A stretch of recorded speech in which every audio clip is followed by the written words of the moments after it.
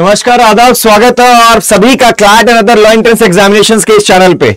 जी हाँ बड़े दिनों से बच्चों की डिमांड थी कि सर फॉर्म कैसे भरना है? क्या क्या है जो फॉर्म में हम गलती ना कर दें? क्यों? क्योंकि हमारे भविष्य का सवाल है। बिल्कुल हंड्रेड परसेंट आपके भविष्य का सवाल है। एक छोटी सी गलती, आपकी साल भर की मेहनत, आपका साल भर का पिताजी का कमाया हुआ बहुत जोरों शोरों से जो हिम्मत करके पैसा, वो सब कुछ एक झटके में वेस्ट हो सकता है। लेकिन मैं ऐसा होने नहीं दूँगा।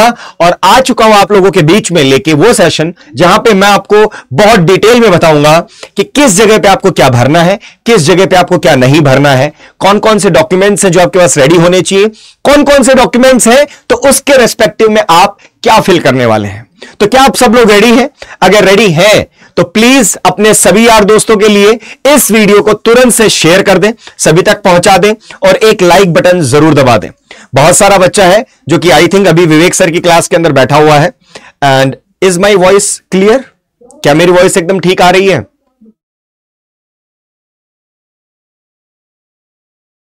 बहुत अलग सा आ रहा है ना? हाँ मुझे भी दिख रहा है रेड रेड हो रहा है। One second one second give me a second give me a second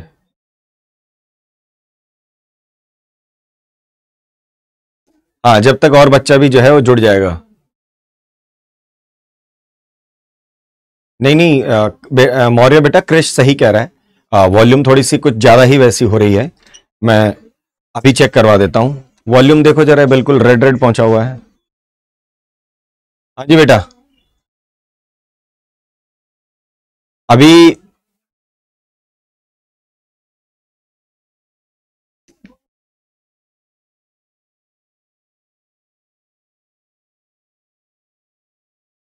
हाँ विवेक सर की क्लास खत्म होने वाली होगी अभी। विवेक सर की क्लास फिनिश होने में ही होगी अभी जस्ट हाँ जी।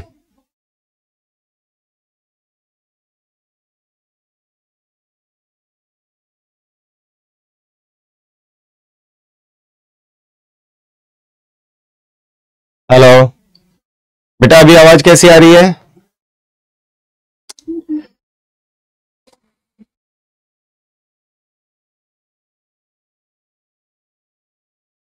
बेटा, सर की क्लास खत्म हो गई क्या? और आवाज़ क्लियर है तो बता दो।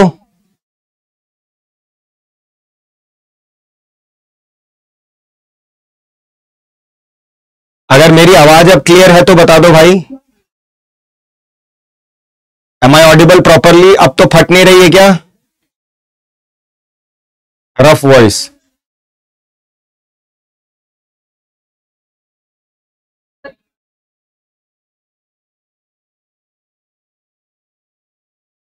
अच्छा फटा हुआ आ रहा है। ठीक है। भाई, जल्दी से स्टूडियो बदल दे यार भाई।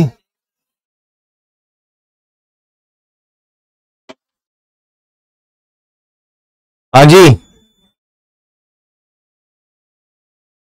हाँ बेटा, अभी कैसा है? कुछ कमी आई? कुछ ठीक हुआ?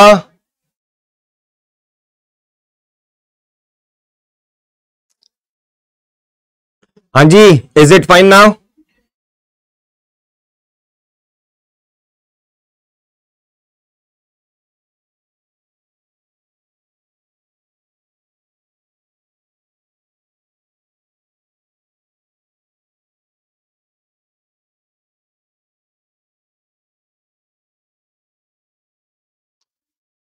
hello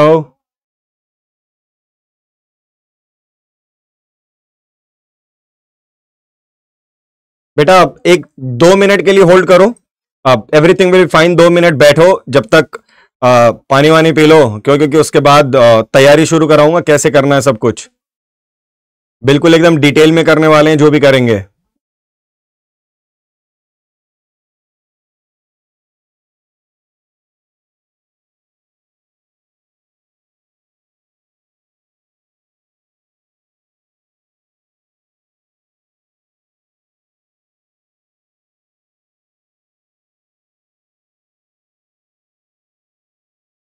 चलो भाई, शुरू करें? ओके सो बेसिकली दो चीज़ें हैं जो मैं आपको समझाने वाला हूँ इस पूरे वीडियो के अंदर कि कौन कौन से मिस्टेक्स हैं जो कि बिल्कुल नहीं करने हैं और परफेक्ट वे क्या होने वाला है। तो आपके पास सबसे पहले आपको अपने गूगल क्रोम पे जाना है। Once you open your Google Chrome तो आपको ऐसा कुछ स्क्रीन दिखने वाला है। गूगल क्रोम के ऊपर आपको सर्च करना है बेटा। आपको सर्च बार में लिखना है एन एल यू कॉन्सोरियम तो ये आपके सामने ऑप्शन दिख जाएगा नीचे। फ़र्स्ट वेबसाइट होगी कंसोरियम ऑफ़ एनएलयूज आपको इस पर टैप करना है। ये आपके डिफ़ॉल्ट आपकी वेबसाइट है, किसकी? कंसोरियम ऑफ़ एनएलयूज की, जहाँ पे आप अपना फॉर्म फिल करने वाले हैं। ठीक है बेटे?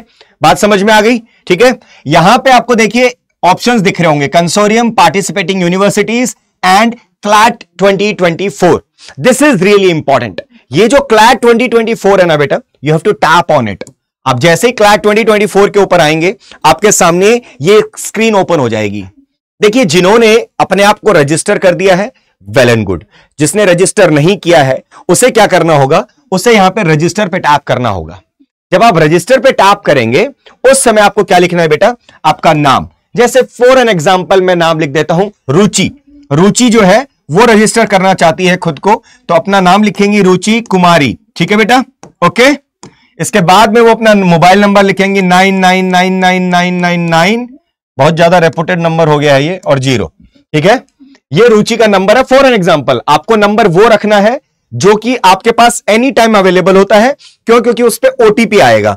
तो मेक श्योर sure कि जो भी नंबर आपके पास में हो, उस समय पे आपको वही नंबर जो है इसमें यूज़ करना है। चलिए, इसके बाद में आपको एक ईमेल आईडी रखनी है जो कि आपकी रजिस्टर्ड ईमेल आईडी है, जिसके ऊपर आपके पास जो भी मेल आता है, उसको आप एक्सेस कर सकते हैं। ठीक है बेटा? तो आपने सपोज़ मैंने लिख दिया S D F G at the rate at the rate at the rate whatever ये एट दी रेट जो है, हमारे यहाँ पे थोड़ा सा दिक्कत होके आता है। थोड़ा सा दिक्कत होगा at the rate G mail dot com ठीक है बेटा? कोई समस्या यहाँ तक? Anybody has got any doubt नहीं। चलिए, जैसे ही आप ये लिख देंगे, इसके बाद आपको पासवर्ड मांगेगा। आप ऐसा पासवर्ड रखना बेटा जिसको आप भूले नहीं बार बार भूले नहीं, बहुत सिंपल सा जिसको आपको याद रहे, वो आपको पासवर्ड डालना है। जैसे सपोज़ मैंने डाल दिया Q R T Y five six seven eight nine whatever ठीक है? देन आपको नेक्स्ट करना है तो आपके पास में अगला डायलॉग बॉक्स आएगा, उसमें भी आपको वही अपना पासवर्ड डालना है। जैसे मैंने डाला था Q U E R T Y और five six seven eight nine ठीक है? इस तरीके से जब आप डन कर देंगे, ठीक है? तो वैलिड मोबाइल नंबर सॉरी ठीक है, एक अब हो गया होगा भाई वैलिड इसके बाद आपको रजिस्टर पे क्लिक कर देना है, ठीक है? रजिस्टर पे जब आप क्लिक करेंगे तो रजिस्टर करते देखिए क्या दिखाएगा आपको। एन अकाउंट है successfully created you will receive an OTP on your registered mobile number please use the OTP to activate your account ये लीजिए, ठीक है? अब जो मैंने मोबाइल नंबर डाला है, उस मोबाइल नंबर पे ओटीपी चला गया है। लेकिन ये मोबाइल नंबर तो या तो मुकेश अंबानी जी का होगा या फिर हमारे नरेंद्र मोदी जी का होगा, उनके पास अभी ओटीपी गया होगा। अब वो मुझे ओटीपी तो बताएँगे नहीं। लेकिन आपने कौन सा नंबर डालना था? आपका नंबर डालना था, आपके मम्मी का या आपके पापा का, जो आपके पास उस टाइम पे अवेलेबल होगा।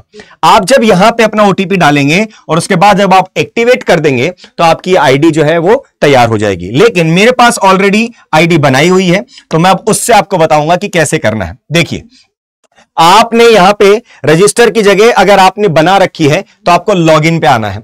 लॉगिन के अंदर मैं एक एग्ज़ाम्पल से एक बच्चे ने मेरे को अपनी आईडी दी है। मैं उसके नाम से जो है आपको पूरी डिटेल्स भर के और फिर आपको दिखाऊँगा कि किस तरीके से जो है ये पूरा काम होने वाला है। कैसे आपको ये पूरा फिल करना है। फॉर एन एग्ज़ाम्पल मैं यहाँ पे बच्चे की आईडी डाल रहा हूँ। ओके सो so, इस तरीके से आपका जो मोबाइल नंबर है दैट इज़ योर आईडी ठीक है? आपको मोबाइल नंबर डालना है। देन आपको अपना पासवर्ड जो है वो डालना है ठीक है? So so, you have to enter your password, and the password should be as simple as possible, because आपका जो पासवर्ड है, उसको आप बार बार भूलेंगे तो दिक्कत हो जाएगा बेटा। ठीक है? ओके और यहाँ से लॉगिन का बटन दबा देंगे तो ये आपके सामने लॉगिन हो जाएगा। ठीक है? ना क्या सभी को यहाँ तक की बात समझ में आ गई? सर, ये mobile number JP Singh Nehra Singh Jain का है। अच्छा मोहित मोहित ने तो ये, यही सर्च आउट कर दिया। अब ये बताइए मुझे, यहाँ तक सबके समझ में आया कि नहीं आया है भाई? यहाँ तक सारी कहानी समझ में आई कि नहीं आई है? ये बता दीजिए पहले मुझे। इज़ इट क्लियर कि क्या करना था? आईडी क्रिएट करना आ गया। कैसे आईडी क्रिएट होगा? इज़ एवरीबडी अवेलेबल टू से कि यस सर हमें यहाँ तक समझ में आ गया। आईडी कैसे क्रिएट करनी है? इतने तो तुम बेवकूफ़ नहीं हो, मुझे पता है। कोई ऐसा बच्चा जिसको ऐसा लगता है कि नहीं सर यहाँ तक मुझे समझ नहीं आया, ये और बताओ आप। ऐसा कोई बच्चा है जिसे ऐसा लग रहा हो कि नहीं सर, इसमें भी कुछ डाउट रह गया है मुझे। इज़ देर एनी बडी हाँ जी।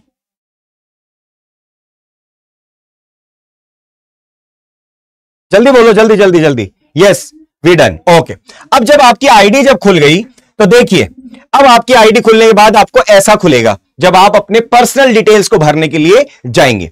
आपके पास सबसे पहला होना चाहिए दो चीज़ें। आपकी पासपोर्ट साइज़ फ़ोटो ठीक है? दूसरा आपका सिग्नेचर सिग्नेचर क्या करना है आपको?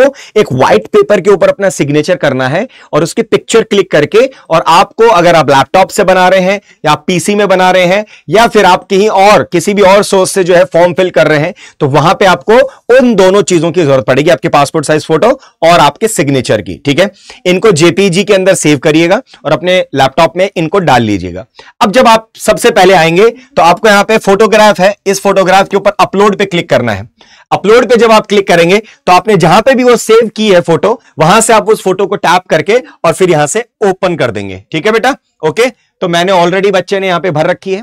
देन यहाँ पे अपलोड सिग्नेचर तो फिर वही बात है। जहाँ आपने अपने सिग्नेचर की फोटोग्राफ जो रखी थी, वो फोटोग्राफ आपकी यहाँ पर आ जाएगी। आपको ये भी यहाँ पे अपलोड कर देनी है। पहली चीज़, सबसे फॉरमोस्ट चीज़ आपकी क्लियर हो जाती है एंड दैट इज़ कि किस तरीके से आपको अपनी फॉर्म्स के अंदर कौन कौन सी फ़ोटोज़ डालनी है। फ़ोटोज़ डल गई। नाउ अब इसके बाद में आपको नाम डालना है और आपका नाम वो डलेगा बेटा जो आपकी टेंथ क्लास की मार्कशीट में है। Please make sure tenth class के मार्क्स कार्ड के अंदर जो आपका नाम है, वही नाम यहाँ पे डालिएगा, एकदम नीट एंड क्लीन उसमें कोई मिस्टेक मत कर देना। अगर आपने नाम में मिस्टेक कर दी तो सब गुड़बड़ हो जाएगा भैया। क्यों? क्योंकि जब आप एग्जामिनेशन दे देंगे, आपके क्लाट के अंदर टॉप रैंक आ जाएगी। हो सकता है। जैसे मोहित है, पलक है, निशिका है, अंकित है दिव्या है, ये हमारी टॉप टेन की बच्चे हो गए। टॉप टेन रैंक इन्होंने ले आए और इन्होंने सबने अपने नाम जो है उल्टे सीधे घर पे किसी को टुन्नू बोलते हैं, किसी को चुन्नू बोलते हैं, किसी को मुन्नू बोलते हैं, वो डाल दिए वहाँ पे। लेकिन अब मुन्नू और टुन्नू का एडमिशन तो हो नहीं रहा। वहाँ तो एडमिशन अंकित, निशिका, पलक, मोहित और सब लोग का हो रहा है। यू अंडरस्टैंड माई कॉन्सेप्ट ठीक है? तो नाम बहुत नीट एंड क्लीन डालना है, जो आपके एग्ज़ाम के अंदर as shown in ten plus two certificate ठीक है भाई? आगे बढ़ते हैं। Then you to choose your gender male और female whatever it is then is your date of birth date of birth जो आपके मार्क्स कार्ड के अंदर है एग्जैक्टली exactly, वही डेट ऑफ़ बर्थ डालनी है। इधर उधर के किसी और आधार कार्ड वाधार कार्ड पे मत देख लेना। आप अपनी टेंथ की मार्क्स कार्ड के अंदर आपकी डेट ऑफ़ बर्थ लिखी होगी। टेंथ की मार्क्स कार्ड से अपन क्या निकालेंगे? अपनी date of birth capital small letter doesn't matters ठीक है? कैपिटल हो या फिर आपका स्मॉल लेटर में हो इससे कोई फ़र्क नहीं पड़ता। फ़र्क ये पड़ता है कि स्पेलिंग में कोई मिस्टेक नहीं होनी चाहिए। चलिए, आगे बढ़ता हूँ। आपने अपनी डेट ऑफ़ बर्थ है, वो डाल दी। इसके बाद में आपके पेरेंट्स का नाम योर फादर्स नेम ठीक है? Okay you have to put your parents name then do you qualify under the NRI category क्या आप एनआरआई हैं? क्या आप नॉन रेसिडेंट्स ऑफ़ इंडिया हैं? अगर हैं तो वेल एंड गुड आप अपनी इस ऑप्शन को जो है आप टैप यस कर दीजिएगा, ठीक है? अगर आप एनआरआई हैं तो आप यस कर दीजिएगा, ठीक है? अगर आप एनआरआई नहीं है तो आपको यहाँ पे क्या टैप करना है बेटा? यहाँ पे आपको नो टैप करना है। प्लीज़ माइंड इट कुछ बच्चे होते हैं जो छोड़ जाते हैं सेलेक्ट के ऊपर ही छोड़ जाते हैं। नहीं, आपको यहाँ पे नो टाइप करना है। Do you qualify under NRI sponsored category तो आप एनआरआई नहीं है तो आप इसके अंडर भी नहीं फॉल करते हैं।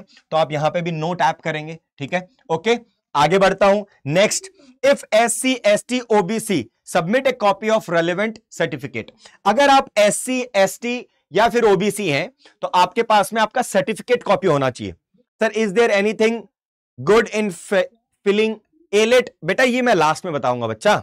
जब अपन आखिरी में इसके बारे में डिस्कशंस कर रहे होंगे कि कोई दिक्कत है या कोई सवाल है, उसमें मैं इस सवाल को आपके पूरा जवाब दूँगा। ठीक है बेटा? उषा? ओके चलिए। नाउ अब जैसे सपोज़ इस बच्चे ने, जो हमारा बच्चा है, इस बच्चे ने क्या किया है? ये ओबीसी का है, ठीक है? ये बच्चा ओबीसी का है, इसके पास ओबीसी का सर्टिफिकेट है तो इसने इस कैटेगरी के अंदर जाके यहाँ पे डाउनलोड का ऑप्शन है, ठीक है? सॉरी अपलोड का ऑप्शन है। यहाँ से आप जब टैप करेंगे तो आपको लेके जाएगा डायलॉग बॉक्स के अंदर, ठीक है? कि भैया आप जाइए और अपना सर्टिफिकेट अपलोड कीजिए, जैसे पिक्चर्स का दिखाया था ना मैंने कैसे पिक्चर्स अपलोड करनी है उसी तरीके से यहाँ पे अपलोड का ऑप्शन आएगा। आप अपने जाके पिक्चर यहाँ पे अपलोड कर सकते हैं। किसकी? आपके सर्टिफिकेट की। अगर आप एससी हैं एसटी हैं या ओबीसी हैं। बात समझ में आ गई? आ गई? ओके चलिए। जब आपने इसको फिल कर दिया then do you qualify under the personal with disability category PWD आपको कोई पर्सनैलिटी डिसेबिलिटी है? हो सकता है किसी की आँख नहीं है किसी का आ, कान नहीं है किसी के हाथ नहीं है। कुछ भी वट एवर पर्सनल डिसेबिलिटी जिसका एक सर्टिफिकेट बनता है सरकार की तरफ़ से। अगर आपके पास में पर्सनल डिसेबिलिटी का अगर सर्टिफिकेट है then only you can tap on yes otherwise you to tap on no ठीक है? ये ध्यान रखिएगा कि आपको यस और नो के अंदर ज़रूर फिल करना पड़ेगा। ठीक है? ओके आपने सपोज़ नो भर दिया। लेकिन वट इफ़ चांसेस यस हो? ठीक है? तो अगर यस है तो आपके सामने यहाँ पे आ जाएगा submit a copy of the relevant certificate issued by the competent authority अगर आप आपके अंदर कोई भी डिफॉर्मिटी है, आपके हाथ, पाँव कुछ नहीं है तो आप पीडब्ल्यू सर्टिफिकेट होगा आपके पास तो यहाँ पे ऑप्शन आएगा अपलोड का। आपको ये अपलोड करना पड़ेगा। तो ये ये जो आपका सर्टिफिकेट है, ये भी आपके लैपटॉप या कंप्यूटर के अंदर फ़ोटो इसकी होनी चाहिए। लेकिन खैर, अपन तो अपन को तो ये चाहिए ही नहीं है तो अपन नो कर देंगे तो नो करने से ये ऑप्शन ही हट जाएगा। आगे बढ़ता हूँ। Do you qualify under the BPL below poverty line category अगर आप बीपीएल के अंदर आते हैं तो आपको यस करना है, और अगर नहीं आते हैं तो आपको इसको नो करना है। चलिए भाई, ये तो यहाँ से हो गया। Now do belong to non creamy layers अगर आप ओबीसी में हैं तो आप नॉन क्रीमी लेयर्स के अंदर अगर आते हैं तो आपको यहाँ पे यस करना है। डू यू क्वालिफाई ये मैंने आपको ऑलरेडी बता दिया है। इतना कुछ आप कर देंगे, इसके बाद आपको यहाँ पे एक देखिए ऑप्शन होगा एरो का। दिख रहे हैं आपको arrows can you see the arrow क्या आप यहाँ पे एरो देख पा रहे हो? ये साइड में एरो दिख रहा है आपको। You have to tap on it ये आपको ऐसे टैप करना है। ठीक है? एक बार टैप करोगे तो ये आपको नेक्स्ट डायलॉग बॉक्स के अंदर ले आएगा और नेक्स्ट डायलॉग बॉक्स क्या होगा बेटा? कम्युनिकेशन क्या होगा? कम्युनिकेशन के ऊपर। अब यहाँ पे आपको अपना एड्रेस डालना है, ठीक है? You have to fill complete address here और ये एड्रेस वो होना चाहिए जो आपके आधार कार्ड में मेंशनड हो, ठीक है? अपने आधार कार्ड के हिसाब से यहाँ पे एड्रेस डालिए, आपका स्टेट डालिए, आपका डिस्ट्रिक्ट डालिए, आपका पिन कोड डालिए, आपका परमानेंट एड्रेस डालिए, जहाँ पे आप रहते हैं।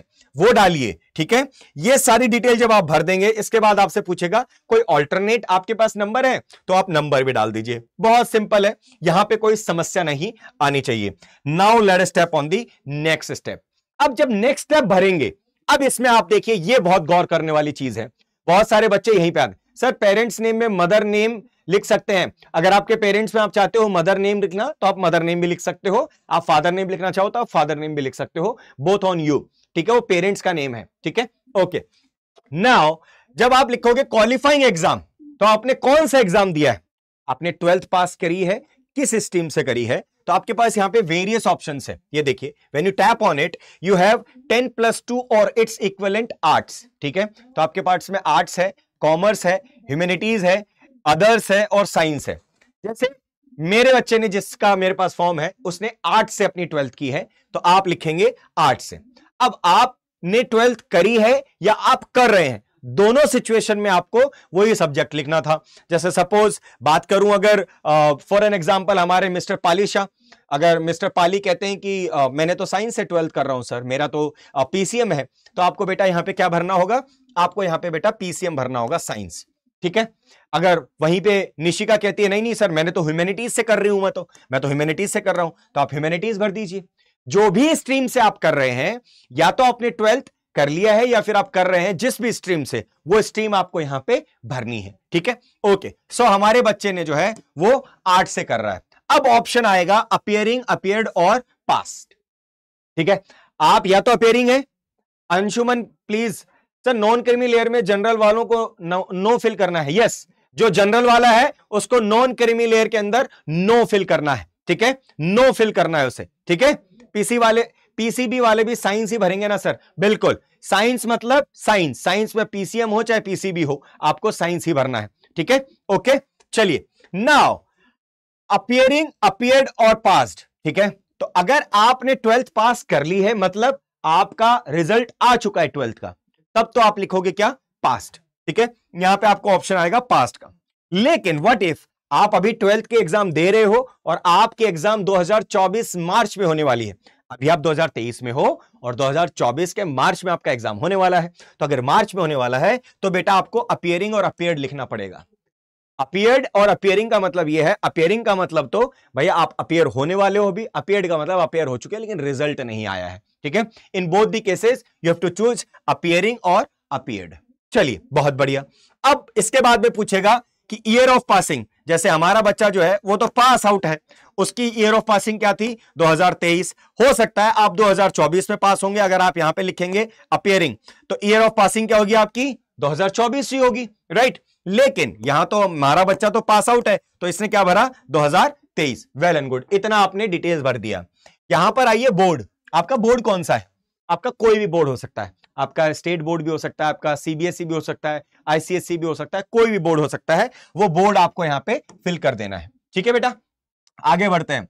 ईयर मंथ ऑफ़ पासिंग तो जो आपका ट्वेल्थ का पासिंग सर्टिफिकेट मिलता है आपको, उस पासिंग सर्टिफिकेट के ऊपर आपका मंथ लिखा होता है। कौन से मंथ के अंदर वो सर्टिफिकेट जनरेट हुआ है? तो वहाँ पे नीचे लिखा होता है ईयर ऑफ़ पासिंग और वहाँ पे फिर डेट लिखी होती है मंथ लिखी होती है ईयर लिखी ईयर लिखी होती है। तो उसके अकॉर्डिंगली आप यहाँ पे डिटेल भर देंगे कि कौन सा मंथ होने वाला है। सर बोर्ड के साथ यूनिवर्सिटी नेम भी लिखना है क्या? या बस बोर्ड काफ़ी है? बेटा यूनिवर्सिटी नेम क्यों लिखोगे आप? आप सीबीएसई बोर्ड से हो, आपको सिर्फ़ बोर्ड लिखना है। यहाँ पे बोर्ड या यूनिवर्सिटी अगर आप ग्रेजुएट हो चुके हो if you have done your graduation तो उस ग्रेजुएशन के लिए यूनिवर्सिटी रखा है इन्होंने। या फिर साउथ के अंदर क्या है? ट्वेल्थ के अंदर भी यूनिवर्सिटी में होता है, ठीक है? सो उन केसेस के अंदर आपको यूनिवर्सिटी फिल करनी है but you are in board तो आपको यहाँ पे बोर्ड ही फिल करना है बच्चा, ठीक है? ओके नाउ आपके परसेंटेज कितने आए? आपके चालीस परसेंट है, पैंतालीस परसेंट है, पचास परसेंट है, साठ है, सत्तर है, अस्सी है, सौ, जो भी परसेंटेज है आपके, देखिए जनरल कैटेगरी मिनिमम 45 परसेंट होना चाहिए S C S T category minimum 40 percent होने चाहिए ट्वेल्थ में then only you can fill this form चलिए, आगे बढ़ता हूँ। अगर अगर आपने ये पासिंग मार्क्स तभी आएगा जब आप पास हो। अगर आप पास नहीं हो पेयरिंग हो तो आपके परसेंटेज ऑफ़ मार्क्स आपको डालने की ज़रूरत नहीं है। Hope I am clear with this यहाँ तक किसी को कोई समस्या है तो लिख दीजिए कि, सर दिल्ली के लिए प्रेफरेंस लिस्ट सर, अभी आएगा, आने तो दो भाई, पूरा पहुँचने तो दो यार बच्चा। ठीक है? अब ये आपने सारा भर दिया। अब इसके बाद में आता है next that is your test preference list अब ये जो आपका सेंटर प्रेफरेंस लिस्ट है, ये बहुत इंपॉर्टेंट होता है। कुछ बच्चे होते हैं, जो कि सिर्फ़ सिटी का नाम देख के भर देते हैं अच्छा यहाँ भी भर दिया, वहाँ भी भर दिया। जो आपके घर से सबसे नियरेस्ट है, बेटा, उसी सेंटर को भरना है।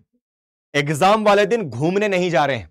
एग्ज़ाम वाले दिन एग्ज़ाम देने जा रहे हैं। बहुत सारे बच्चे सोचते हैं, यार, वहाँ का भर देता हूँ, थोड़ा घूम फिर भी आएँगे आते टाइम पे, एग्ज़ाम देते टाइम पे। बेटा, सर के ऊपर जो है ना, जो बाल है वो ऐसे हिल रहे होंगे उस टाइम पे। क्यों? क्योंकि दिमाग में सिर्फ़ एक चीज़ होगी एग्ज़ाम कैसा हो एग्ज़ाम और अगर आपने दूर का भर दिया बाई चांस अगर आपने दूर का भर दिया और पता चला आप टाइम पे पहुँचे ही नहीं तो फिर तो घूमते ही रहना आराम से, है ना?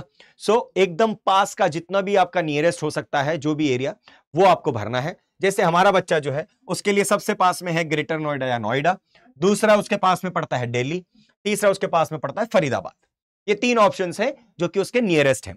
तो जो आपका सबसे पहला प्रेफरेंस लिस्ट है, अगर एनएलयू के उस प्रेफरेंस लिस्ट के अकॉर्डिंगली अगर इतने बच्चे नहीं आते हैं, जैसे सपोज़ ग्रेटर नोएडा के अंदर दो हज़ार बच्चों के लिए इन्होंने जगह बनाई है, और लेकिन 2000 से ज़्यादा बच्चे आ गए तो क्या करेंगे? 2000 बच्चे जो पहले वाले हैं, उन्हें तो यहाँ मिल जाएगा। और उसके अलावा जो बच्चे होंगे, उन्हें उनकी प्रेफरेंस लिस्ट सेकंड के अंदर जगह मिलेगी, ठीक है? तो उनको दिल्ली सेंटर मिलेगा, या फिर उनको फरीदाबाद सेंटर मिलेगा। इन तीनों में से एक सेंटर मिलेगा ही मिलेगा। तो ये तीनों वो होने चाहिए जो कि आपके नियरेस्ट हो। अब सबसे इंपॉर्टेंट चीज़ आ गई है दैट इज़ योर रिजर्वेशन ये रिजर्वेशन एरिया जो है, ये आपका है यूनिवर्सिटी का रिजर्वेशन एरिया ठीक है? न्यू दिल्ली गाजियाबाद ग्रेटर नोएडा हाँ शिवांश, जो भी हो, आपको वो आपकी इच्छा से आप भर सकते हो, जो भी आपके नियरेस्ट हो। Now this is some of you know very very important जिसके अंदर आपको पता होना चाहिए कि आपको रिजर्वेशन के अंदर इंपॉर्टेंट कौन कौन से हैं, जो कि लिस्ट भरनी है। देखिए फॉर एन एग्ज़ाम्पल लेता हूँ कि रुचि। बेटा, आप जो जो जहाँ जहाँ से है, मुझे एक बार लिख दीजिए कि, बेटा, मैं सर यहाँ से हूँ। आप सपोज़ दिल्ली से है, कोई हरियाणा से है, कोई कहीं से है, जहाँ से भी है। सर, मेरा एडुकेशन कर्नाटका में हुआ है। But I am in Mumbai school के सारे सर्टिफिकेट कर्नाटका बोर्ड के हैं sir what to do no problem Deepti अगर आपके कर्नाटका के हैं यू हैव कर्नाटका सर्टिफिकेट्स और ऑफ़ एनी इंडिया इंडिया के अंदर कहीं का भी सर्टिफिकेट हो डजेंट मैटर्स आप कहीं से भी फॉर्म फिल कर सकते हैं। आपके जो भी डॉक्यूमेंट्स हैं डॉक्यूमेंट्स के अकॉर्डिंगली अपनी डिटेल्स फिल कर दीजिए। ठीक है? ओके सो आप जहाँ के भी हैं, जैसे suppose just right Bihar Bihar MP yes आप अपना स्टेट लिखिए बेटा। स्टेट लिखिए। ठीक है? ओके तो आप जिस भी स्टेट से हैं, आप जिस भी स्टेट से हैं, जैसे मोहित इज़ फ्रॉम झुंझुनू तो झुंझुनू नहीं वो राजस्थान हुआ। Himani is also from Rajasthan. So whatever state you have आपको क्या करना है? सबसे पहला है एनएलएसआईयू बैंगलोर अब बैंगलोर कहाँ पे है बेटा? बैंगलोर है कर्नाटका में। तो ये ये पूछ रहा है कि are you a Karnataka student क्या आप कर्नाटका के स्टूडेंट हैं? अगर आप कर्नाटका से हैं, जैसे एक बच्ची है, जिसके सारे सर्टिफिकेट्स कर्नाटका के हैं, बेटा ध्यान रखना, जो बच्ची ने मेरे को अभी बोला था कि मेरे सारे सर्टिफिकेट कर्नाटका के हैं तो आपके पास डोमेसाइल भी कर्नाटका का ही होगा बेटा, ठीक है? आपके पास जिस भी स्टेट का डोमेसाइल है, अगर आप कर्नाटका के हैं तो आपको यहाँ पे यस टाइप करना है। जैसे ही आप यस टाइप करेंगे तो ये कैटेगरी जो है आपकी यहाँ पे बता देगा, आपको यस करना है। ठीक है? आपको बता देगा इसके अंदर क्या क्या चीज़ें हैं जो आपके पास होनी चाहिए। इसके बाद आपको यहाँ पे सारी की सारी डिटेल्स फिर करनी है कि आप शेड्यूल कास्ट से हैं, शेड्यूल ट्राइब से हैं, ओबीसी हैं या फिर नॉट एप्लीकेबल है। अगर आप जनरल से हैं तो नॉट एप्लीकेबल कर सकते हैं, यस, ठीक है? लेकिन आप तो कर्नाटका से नहीं है तो आपको कर्नाटका से नहीं हो तो बेटा आपको यहाँ पे नो फिल करना है। क्या फिल करना है? नो आगे बढ़ोगे, हैदराबाद में भी आपको नो फिल करना है। मैं एक एग्जांपल ले लिया हूँ सिर्फ़ और वो है राजस्थान का। एक बच्चा है जो कि हरियाणा से है, ठीक है? मैं वो हरियाणा वाले बच्चे के हिसाब से आपको समझा रहा हूँ, आप जिस भी स्टेट से हो, उस स्टेट का आपको यस करना होगा।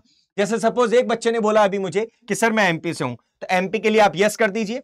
फिर ये यहाँ पे बोलेगा कि do you want to claim a seat under domicile of Madhya Pradesh देखिए, एक रिजर्वेशन होता है जो कि कैटेगरी का होता है, किसका? जनरल ओबीसी एससी एसटी इनका होता है। एक होता है डोमेसाइल का। इन्हीं में से एक हॉरिजॉन्टल भी होता है वो होता है डोमेसाइल का। तो एमपी के जो लोग हैं उनको भोपाल के अंदर जो है ये रिजर्वेशन मिल सकता है एक्स्ट्रा में। तो आपके सीट पक्के होने के और चांसेस बढ़ जाते हैं। और राजस्थान वालों के लिए खुशखबरी है ये पहली बार हो रहा है अब की बार क्लैट के अंदर कि राजस्थान का एनएलयू जोधपुर भी रिजर्वेशन दे रहा है स्टेट रिजर्वेशन दे रहा है। ठीक है? सो so, आपको यहाँ से ये सारी रीड आउट कर लिया। Please read the eligibility. Note, you will need to produce relevant supporting document at the time of admission, failing which your admission may be cancelled. अगर आपने ये डोमिसाइल सर्टिफिकेट नहीं दिखाया तो आपका एप्लीकेशन फॉर्म कैंसिल हो सकता है। इसीलिए यहाँ पे आके ही सबसे ज़्यादा गलतियाँ होती हैं। बच्चा कुछ भी किसी में भी यस भर देता है किसी में भी नो भर देता है। आप जिस स्टेट के हैं आपको उस स्टेट के अलावा सब में नो भरना है। मैंने यहाँ पे भी नो भर दिया यहाँ पे भी नो भर दिया मध्य प्रदेश में भी नो भर दिया। ठीक है? और यहाँ पे यू नो कोलकाता में भी नो भर दिया, जोधपुर में आऊँगा। जब जोधपुर में आऊँगा तो एक मेरा बच्चा कहता है कि, सर, मैं राजस्थान से हूँ, लेकिन मैं तो हरियाणा के हिसाब से काम करूँगा, ठीक है? छत्तीसगढ़ में भी नो भरूँगा, यहाँ पे भी नो भरूँगा। अब यहाँ पे देखिए, कुछ नहीं भरा हुआ है सेलेक्ट ऑप्शन है तो मैं यहाँ पे भी नो भरूँगा, क्यों? क्योंकि मैं सिलवासा से भी नहीं हूँ, ठीक है? ओके मैंने लखनऊ भी नो भरा, यहाँ पे पंजाब भी मैंने नो भरा, ठीक है? इसके बाद में पटना भी नो होएगा इसके बाद में कोची भी नो, इसके बाद में एनएल उड़ीसा भी नो, रांची भी नो, सभी में नो भरते चलेंगे, सब में नो भरते चलेंगे। ये जिस बच्चे का फॉर्म में दिखा रहा हूँ आपको, वो हरियाणा का बच्चा है। तो मैं अब हरियाणा के हिसाब से बढ़ाता हूँ आपको, ठीक है? अब हरियाणा के हिसाब से समझाता हूँ। ये देखिए, हरियाणा में भी नो था। अब आप जब हरियाणा में नो था तो आपने यस किया। मैं कहता हूँ यस मेरे पास में डोमिसाइल है। आपके पास डोमिसाइल है वेल एंड गुड अब ये पूछेगा कि आपकी कैटेगरी कौन सी है? आप कौन सी कैटेगरी से हैं आप हरियाणा के अंदर? आप हरियाणा के अंदर क्या एससी है? या आप एसटी हैं? या आप इकोनॉमिकली वीकर सेक्शन में हैं? या फिर आप बैकवर्ड क्लास ए कैटेगरी में हैं? या फिर आप बैकवर्ड क्लास बी कैटेगरी में हैं? या फिर आपका ये कोई रिजर्वेशन ही नहीं लगता है? इन सब रिजर्वेशन में आप नहीं आते। आप जनरल कैटेगरी के हैं, लेकिन हैं आप डोमिसाइल ऑफ़ हरियाणा। हरियाणा का डोमिसाइल आपके पास में है, ठीक है? सो हॉरिजॉन्टल के अंदर भी क्या होगा? फिर हॉरिजॉन्टल के अंदर भी आपके रिजर्वेशन होंगे। ठीक है? तो रिजर्वेशन के अंदर रिजर्वेशन और रिजर्वेशन के अंदर फिर रिजर्वेशन ठीक है भाई? इसलिए बिहार के लिए पटना वाला है। हाँ अगर आप पटना से हैं तो आप बिहार स्टेट का जो यूनिवर्सिटी के सामने आएगा, उस यूनिवर्सिटी के सामने आपको भरना है डोमिसाइल ऑफ़ बिहार यस और साथ के साथ में आपको एक चीज़ इंपॉर्टेंटली फिल करनी है कि क्या आपका डोमेसाइल के साथ के साथ आपकी कोई कैटेगरी भी है? कि आप एससी से हैं एसटी से हैं ओबीसी से हैं, या फिर जनरल से हैं वडवर सर, मैं उत्तर प्रदेश से हूँ। और पंजाब में हूँ तो कहाँ का भरूँगा? बेटा कितना सिंपल है। आपका जहाँ का डोमेसाइल है वहाँ का भरोगे। अगर आपके पास में पंजाब का डोमिसाइल है तो आप पंजाब में भरोगे। अगर आपके पास उत्तर प्रदेश का है तो आप यू, यूपी का भरोगे। ठीक है? ओके? सो अगर आपका अगर आप यूपी से हैं तो आप लखनऊ वाली जो यूनिवर्सिटी है उसके सामने आपसे पूछेगा वो कि are you person from UP तो बिल्कुल भरिए I have domicile of UP भर दीजिए। ठीक है? ओके? ऐसी कोई समस्या आप सर, ये वही, वहीं का भरना है जहाँ हम रहते हैं। नहीं, जहाँ आप रहते हो, वहाँ का नहीं। जहाँ का आपके पास डोमेसाइल है, आपके आधार कार्ड पे आपका कौन सा एड्रेस आता है? जहाँ आपका आधार कार्ड का एड्रेस आता है, वहीं से ही आपको डोमेसाइल सर्टिफिकेट मिलेगा राइट डोमेसाइल सर्टिफिकेट का मतलब जहाँ आप पैदा हुए, जिस स्टेट में आप पैदा हुए, जहाँ का आपके पास में डोमेसाइल सर्टिफिकेट है। रेसिडेंट हो आप जहाँ के, ठीक है? ओके सर यूपी के लिए लखनऊ डालेंगे ना? अरे बेटा, कैसे बात कर रहे हो यार? लखनऊ क्यों डालोगे भाई? लखनऊ वाली यूनिवर्सिटी के सामने आपका नाम आएगा। ये देखिए, आपको दिखा देता हूँ। Lucknow where is Lucknow? अगर आप यूपी से हैं तो आपको लखनऊ वाली, अब जैसे एक वो बिहार वाला बच्चा बोल रहा है तो चाणक्य नेशनल यूनिवर्सिटी के सामने पूछेगा आपको रिजर्वेशन चाहिए बिहार का तो आप यस कर देना। ठीक है, एक बच्चा जो है, वो ये कह रहा है कि, सर, हम यूपी से हैं। तो यूपी से do want to claim state level reservation yes करो। अगर आप यूपी से हो तो ये पूछेगा do want to claim state level reservation Uttar Pradesh yes हाँ मैं उत्तर प्रदेश से हूँ। फिर ये पूछेगा कि कैटेगरी सेलेक्ट करो तो अगर आप जनरल से हो तो नॉट एप्लीकेबल कर दो। नॉट एप्लीकेबल करके आपको यस करा देगा। मतलब आपको सिर्फ़ एक रिजर्वेशन मिलेगा, और वो रिजर्वेशन क्या होगा बेटा? वो रिजर्वेशन होगा आपको उसी स्टेट का माइग्रेंट का होगा। बात समझ में आ गई? हाँ जहाँ का मूल निवास है। बिल्कुल, जहाँ का आपके पास में मूल निवास है डोमिसाइल सर्टिफिकेट जो है वो जहाँ का भी है, वो आपको स्टेट भरना है। चलिए, मैं यहाँ पे नौ भर देता हूँ, क्योंकि हमारा बच्चा तो यहाँ से है नहीं। तो ये बहुत ध्यान से भर देना बेटा, क्यों? क्योंकि हो सकता है कि किसी बच्चे ने बिहार भर दिया, लेकिन वो तो हरियाणा का है।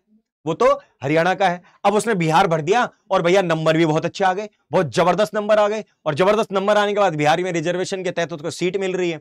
लेकिन जब बिहार में सीट मिल रही है काउंसलिंग के अंदर और उसको बुलाया गया कि आइए आइए अंशुमन जी, आइए और आपका बिहार का जो है डोमिसाइल सर्टिफिकेट दिखाइए, मूल निवास दिखाइए। अब क्या दिखाएँगे हम? हमारे पास तो है ही नहीं। हम तो भैया लखनऊ वाले थे। हम तो कहाँ के रहने वाले हैं? हमारा डोमिसाइल कहाँ का है? हमारा तो डोमिसाइल जो है वो लखनऊ का है। ठीक है? ओके? बट आधार कार्ड में यूपी का एड्रेस है। बेटा बेटा, आपका डोमेसाइल सर्टिफिकेट आपके रेसिडेंस के हिसाब से होता है। पैदा, वैदा, ये सब छोड़ो। आपका मूल निवास यार। डोमेसाइल सर्टिफिकेट नहीं पता तुमको, तुम ट्वेल्थ कर चुके हो यार।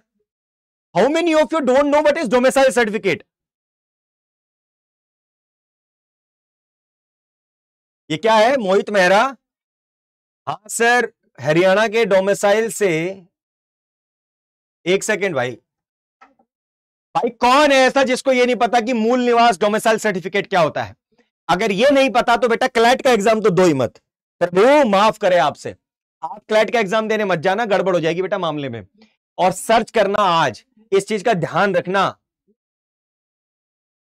सर, हरियाणा का डोमिसाइल है तो क्या है बता दो ना। अरे बेटा, हरियाणा का डोमिसाइल है बेटा मोहित। तो तू हरियाणा ही भरेगा ना?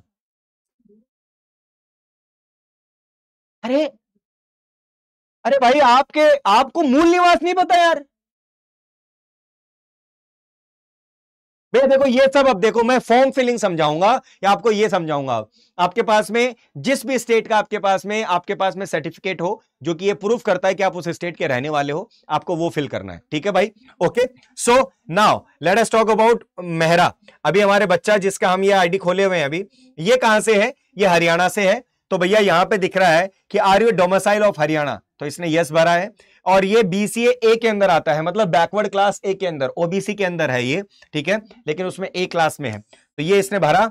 इसके बाद में आई डू हेयर बाई इस पे टैप करेगा बच्चा, और इसके बाद में क्या करेंगे आप? सबमिट फॉर्म ये आपका फॉर्म जो है, ये बोलेगा are you sure you want to update the changes in the application form okay आपको यहाँ पे ओके कर देना है। आपका फॉर्म सबमिट हो गया। ऐसा आपको फॉर्म दिखने वाला है।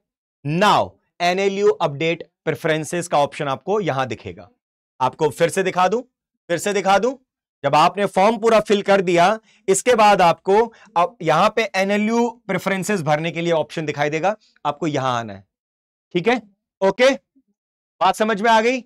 यस रेसिडेंशियल सर्टिफिकेट जहाँ का भी हो, जिस स्टेट का हो, ठीक है? वो आपको देना है। सर अदर अवेलेबल कोटास भी बता दो। कौन से अदर अवेलेबल देखो, मैं आपको सिंपल सी बात समझाता हूँ भाई। सिंपल सा समझ लो, ठीक है? सिंपल सा समझ लो। देखिए फॉर एग्ज़ाम्पल एक बच्चा है मोहित। मैं मोहित के नाम से ले लेता हूँ, ठीक है? मोहित जो है, वो एससी कैटेगरी से है, ठीक है? और मोहित जो है, वो राजस्थान से है। ओके अब क्या होगा? मोहित के पास में दो रिजर्वेशन होंगे। पहला तो जब वो फॉर्म भरेगा तो उस फॉर्म के अंदर जो है रिजर्वेशन कैटेगरी के अंदर वो एससी भरेगा और वहाँ पे अपना एससी का सर्टिफिकेट लगा देगा। वेल एंड गुड और इसके बाद जब वो रिजर्वेशन के एरिया के अंदर आएगा, जो अपने सारी डिटेल्स भरने के बाद में, अब वो वहाँ पे एनएलयू जोधपुर के सामने आएगा।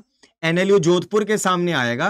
वहाँ पे उसको लिखा मिलेगा are you resident of Rajasthan तो वो राजस्थान के आगे क्या करेगा? यस मुझे, मैं राजस्थान से बिलोंग करता हूँ. ओके यस करने के बाद में उसको नीचे रिजर्वेशन का एरिया खुलेगा, वो वहाँ पे भी एससी कैटेगरी को फिल करेगा। अब इसको कितने रिजर्वेशन मिल रहे हैं? देखो, मोहित को। अब मोहित, सबसे पहले मोहित की रैंक जो है, वो गिनी जाएगी किसके बेसिस पे? एससी कैटेगरी के बेसिस पे। ठीक है? सपोज़ एससी कैटेगरी में मोहित की रैंक आई पाँच हज़ार। ठीक है? ऑल इंडिया पाँच हज़ार रैंक आ गई। ओके वेल एंड गुड और फिर एनएलयू जोधपुर के अंदर। अब पाँच हज़ार से एनएलयू जोधपुर नहीं मिलता। एनएलयू जोधपुर के अंदर अगर राजस्थान डोमिसाइल के अंदर जो है सपोज़ 20 सीट होती हैं। 20 सीट जो है, वो राजस्थान डोमिसाइल की हैं। अब इन 20 सीट के अंदर से डायरेक्टली डायरेक्टली जो है, सिर्फ़ 15 बच्चे ही हैं जिन्होंने भरा था फॉर्म तो डायरेक्टली यहाँ से रिजर्वेशन मिलके और मोहित जी एनएलयू जोधपुर पहुँच गए। तो ये दूसरा रिजर्वेशन है। पहले रिजर्वेशन से तो सीट नहीं मिल रही, लेकिन दूसरा जो कि आपको रेसिडेंसी का जो रिजर्वेशन है, उसके थ्रू आपको सीट मिल गई। तो इसलिए ये बहुत इंपॉर्टेंट है कि आपको अपना ये फॉर्म के अंदर ये वाला जो एरिया है रिजर्वेशन ये प्रॉपर भरना है। ठीक है बेटा? नहीं, है, कुछ कुछ के अंदर डिफेंस का कोटा भी है, वो आप चेक कर लेना, वो सिर्फ़ आपके स्टेट में बिलोंग करता है। मोहित, आप तो वैसे भी राजस्थान से हो तो आपके यहाँ पे बिलोंग नहीं करता है। राजस्थान की जो यूनिवर्सिटी है, वो नहीं देती है। ठीक है? चले भाई। यस चलिए। अब इसके बाद आपको भरना है आपका ये, जो कि बहुत इंपॉर्टेंट है NLU preference list NLU preference list के लिए मेरी ऑलरेडी एक वीडियो आ चुकी है। आप वो वीडियो देख लेना और उस वीडियो के अंदर मैंने टॉप से लेके लास्ट तक की प्रेफरेंस लिस्ट भराई है। अब प्रेफरेंस लिस्ट का भी क्या लोचा है, वो भी समझा देता हूँ भाई। प्रेफरेंस लिस्ट का ये लोचा होता है बेटा कि जब आप सपोज़ फॉर एन एग्ज़ाम्पल मैं मोहित की बात कर लेता हूँ फिर मैं बात कर लेता हूँ हमारे नेहा राठौड़ जी की। नेहा जो है नेहा बेसिकली नेहा ने क्या किया नेहा ने अपनी प्रेफरेंस लिस्ट के अंदर भर दिया एक दो तीन चार पाँच छह सात आठ नौ दस जो भी टोटल एक प्रेफरेंस लिस्ट भर दी। और नेहा ने क्या किया नेहा ने टॉप में रखा नेहा बोली यार ऐसा है कि आ, मैं तो उड़ीसा से हूँ तो मैं तो उड़ीसा रहना चाहूँगी तो उसने west Bengal national law university जो है, उसको फ़र्स्ट रैंक पे भर दिया। ठीक है? फिर बोली, ठीक है, इससे थोड़ा सा और पास में देख लेते हैं। ठीक है, मैं आसाम भर देती हूँ। दूसरा आसाम भर दिया। ठीक है भाई? तीसरा इसने बोला, यार, थोड़ा चिल करने के हिसाब से भी देख लेती हूँ। तो ऐसा करता हूँ, नागपुर भर देती हूँ। तीसरा इसने नागपुर भर दिया। ठीक है? ठीक है भाई? अब इन्होंने ये प्रेफरेंस लिस्ट भर दी। अब नेहा एग्ज़ाम देकर आई क्लैट का, ठीक है? और नेहा की ऑल इंडिया रैंक आ गई कितनी? ऑल इंडिया रैंक आ गई हंड्रेड क्या रैंक आई? ऑल इंडिया रैंक आ गई हंड्रेड अब हंड्रेड रैंक पे हंड्रेड रैंक पे नेहा को डायरेक्टली क्या मिलता है? एनएलएसआईयू बैंगलोर ठीक है? पहली लिस्ट के अंदर इनाम आएगा एनएलएसआईयू बैंगलोर में, ठीक है? या फिर नलसार हैदराबाद में, या फिर नलसार हैदराबाद में। लेकिन लेकिन टॉप कॉलेज के अंदर नंबर तो आ गया, लेकिन प्रेफरेंस लिस्ट सबसे पहली क्या भरी थी इसने? वेस्ट बंगाल जो कि जो कि पाँचवें नंबर पे आती। ठीक है? मतलब अगर इसकी ऑल इंडिया साढ़े सात सौ रैंक भी आती तो भी इसको, ये तो कॉलेज वैसे ही मिल जाता। लेकिन साढ़े सात सौ पे ये दोनों कॉलेज थोड़ी मिलते। ये नहीं मिलते। तो क्या मतलब है मेरा कहने का कि जब आप प्रेफरेंस लिस्ट भरते हो तो टॉप पे आपकी टॉप कॉलेज होनी चाहिए, ठीक है? अगर आपने टॉप कॉलेज नहीं भरी और आपके नंबर अच्छे आ गए, आपने टॉप के ऊपर नीचे वाली कॉलेज भर दी तो आपको पहले ये मिल जाएगी। अब आप नीचे के लिए अपग्रेड नहीं हो सकते। लेकिन फॉर एन एग्ज़ाम्पल इसकी एक हज़ार रैंक आई होती, ठीक है? नेहा की एक हज़ार रैंक आई होती और नेहा को यहाँ से लगभग सात नंबर की कॉलेज मिल रही है। टॉप टेन में से सात नंबर की कॉलेज मिल रही है। नेहा ने क्या है? फ़र्स्ट लिस्ट के अंदर अपने आप को लॉक नहीं किया। सेकंड लिस्ट के लिए वेट कर रही है कि सेकंड लिस्ट के अंदर हो सकता है मेरा नंबर ऊपर आ जाए। अब क्या हुआ कि भैया नलसार, एनएलएसआईयू, भोपाल, जोधपुर, इन सब की सीट फिल नहीं हुई है। तो नीचे वाले बच्चों को ऊपर खींचा जाएगा। क्योंकि सीट ही नहीं फिल हुई ना तो फिर नीचे वाले बच्चों को ऊपर खींचा जाएगा। या फिर जो नेहा ने बेवकूफ़ी की, ऐसे बच्चे जो हैं वो दूसरे यूनिवर्सिटी के अंदर रह जाएँगे तो यहाँ की सीटें खाली रह गई। तो फिर आपको हो सकता है, हज़ार रैंक के ऊपर भी है आपका रैंक तो भी आपकी टॉप कॉलेज हो सकती है, अगर सीट खाली रह गई तो। बात समझ गए भाई? कोई है ऐसा जो मेरा ये कॉन्सेप्ट नहीं समझ पाया सीट अलोकेशन का एज पर दी प्रेफरेंस लिस्ट अगर है कोई ऐसा तो लिख दो भैया। एक भी कोई ऐसा बच्चा है जिसको नहीं समझ में आया तो जल्दी से लिख दो कि, सर, ये समझ नहीं आया कि ये क्या हो गया? सीट का क्या लफड़ा है? मैंने बहुत सिंपल तरीके से समझाया है कि आप अगर टॉप कॉलेज को ऊपर रखते हो तो आप नीचे की रैंक से भी अपग्रेड करके टॉप पहुँच सकते हो। लेकिन अगर आपने नीचे की कॉलेज को अगर टॉप रख दिया तो फिर आप टॉप कॉलेज तक डिग्रेड नहीं कर सकते हो। डिग्रेड नहीं हो पाएगा। बात समझ में आ गई? अगर ये आ गई तो आप प्रेफरेंस लिस्ट को सही से भर पाओगे और प्रेफरेंस लिस्ट आपके सामने ऐसा कुछ है। ठीक है? नेशनल लॉ यूनिवर्सिटी बैंगलोर है, हैदराबाद है then is your Kolkata then is your Bhopal then is your Jodhpur then is your Gandhinagar ये जो मैंने जैसी जैसी लिस्ट बताई है, इस बच्चे ने एग्जैक्टली exactly लिस्ट वैसी ही भरी है। ठीक है?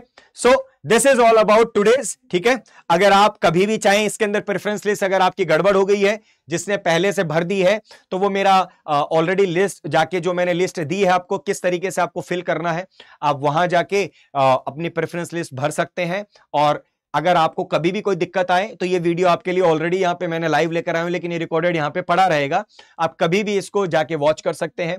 फॉर्म के अंदर कोई गलती मत करना, बहुत अच्छे से ही भरना। अगर टॉप कॉलेज नेक्स्ट में ना मिले तो फिर तो जो कॉलेज दिया उसमें एडमिशन हो सकता है? नहीं। उसमें नहीं हो सकता है आपका। जो आपके पास कॉलेज आया था, उससे बेटर कॉलेज आपको मिल जाएगा। यूजुअली आपके रैंक्स के हिसाब से हम आपको बता देंगे। जब आप एग्ज़ाम दे दोगे, उसके बाद में काउंसलिंग के अंदर मैं आपके साथ रहूँगा। अगर आप मेरे पेड बैच के अंदर अगर आप स्टूडेंट हो और आपने अगर मेरा कोड लगाया है तो काउंसलिंग के दौरान मैं आपको पूरी हेल्प करूँगा कि किस तरीके से काउंसलिंग करनी है। काउंसलिंग में कब आपको सीट आपको अलोकेट हो रही है, उसको आप छोड़ सकते हो। आपका अपग्रेडेशन ऊपर वाली कॉलेज में हो सकता है, नहीं हो सकता है, ये सब कुछ मैं आपको उसमें बता दूँगा। सर, मुझे इनमें से कोई सी कॉलेज में नहीं लेना, बस घर से सब दूर है। तो मुझे दिल्ली या एनसीआर के अंदर ही लेना है, फिर क्या होगा? तो शिवांश बेटा, आपको फिर एलेट का एग्ज़ाम देना होगा। एलेट से आप एनएलयू दिल्ली चले जाएँगे, ठीक है? हाँ बेटा फ़ी स्ट्रक्चर किसका बताना है? फ़ी स्ट्रक्चर इसका चार हज़ार रुपए है। आपको फॉर्म फिल करने के बाद में आपको पेमेंट करना होगा, ठीक है भाई? ये आपने सारा फॉर्म फिल वगैरह सब कर दिया, ठीक है? ओके नाउ इसके बाद जब आप डन कर देंगे इसको, ठीक है? तो आपका ये यहाँ पे सारा का सारा सिस्टम आ गया। अब इसके बाद आपको, अभी इस बच्चे ने तो पूरा का पूरा फॉर्म फिल कर चुका है, पैसे दे चुका है। Then you have to make the payments जब आप पेमेंट्स कर देंगे, उसके बाद आपके पास में एक्सेस टू सैंपल पेपर आ जाएगा। अब आप सैंपल पेपर इनके जो है एक्सेस कर सकते हैं। देखिए सैंपल पेपर वन आ गया सैंपल पेपर टू आ गया। आप यहाँ से रीअटेम्प्ट कर सकते हैं, या फिर इसने एक पेपर तो इसने अटेम्प्ट ही नहीं किया, क्यों? क्योंकि हमने वो पेपर यहाँ सॉल्व करा दिया था। तो आप यहाँ से सॉल्व कर सकते हैं पेपर को भी। ठीक है भाई? Sir if MAT university Noida में एडमिशन चाहिए तो प्रेफरेंस लिस्ट में फ़र्स्ट यूनिवर्सिटी डालना होगा। अरे भैया एमएटी यूनिवर्सिटी यहाँ से थोड़ी कराएगी? एमएटी यूनिवर्सिटी तो प्राइवेट कॉलेज है बेटा। वो तो सिर्फ़ क्लैट के नंबर से ही ले लेगी आपको। उसके लिए कोई प्रेफरेंस लिस्ट नहीं भरनी आपको। श्वेता जी, ठीक है? और अगर आपको फिर भी कोई दिक्कत है श्वेता तो you can connect with me at law by Vijender, ठीक है? तो मैं वहाँ पे आपको और बेटर पढ़ा दूँगा, समझा दूँगा क्या करना है आपको। कट ऑफ़ वट ऑफ़ अभी लफड़ा मत लो। कट ऑफ़ वट ऑफ़ की बाद में बात सोचना। अभी पढ़ाई करो जो नब्बे दिन बचे हैं, उसमें ज़ोर लगा के पढ़ाई करो। And please share this session to everybody जो आपके फ्रेंड सर्कल के अंदर है, जिनको ये सब कुछ भरना है, ठीक है? सर मुझसे आपसे बात करनी है। बेटा अदिति अभी जस्ट फ्री हो जाऊँगा छह बजे। छह बजे बाद कभी भी कॉल कर लेना बेटा, ठीक है? चलिए, इसके बाद अगर कोई समस्या हो तो प्लीज़ जब ये सेशन एंड होता है तो उसका कमेंट बॉक्स खुल जाता है। उस कमेंट बॉक्स के अंदर मेरे को अपना क्वेश्चन डाल दीजिएगा। मैं आपको जो भी दिक्कत होगी, उस दिक्कत को आपके सोल्व कर दूँगा। इसके साथ लेता हूँ अलविदा। जय हिंद, जय Bharat, tata bye bye take care